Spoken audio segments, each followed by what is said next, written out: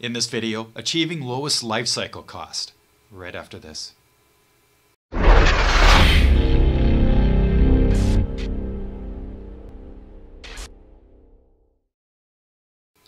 So let's look at a case study where we have an application where we had two strands of WD-120 drag chain running side by side in a conveyor with an average service life of 18 months.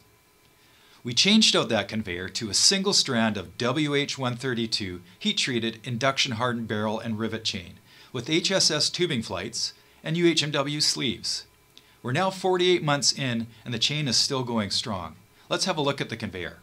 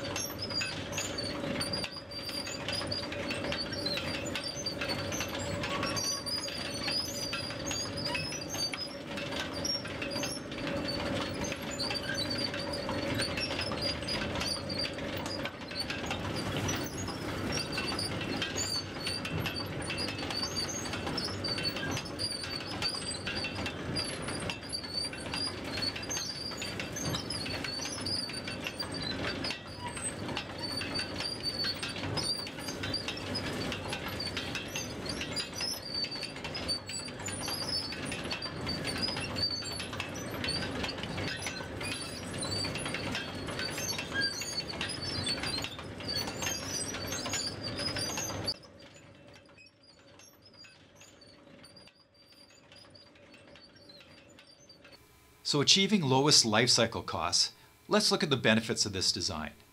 First of all, it's a simple, easy design. We have a low coefficient of friction. We have low noise. We have low power consumption. And we have a much longer operating life, up to 48 months and still going strong. So I hope you found this helpful, and if you did, hit that like button and subscribe to the channel for more videos just like this, and we'll see you in the next video.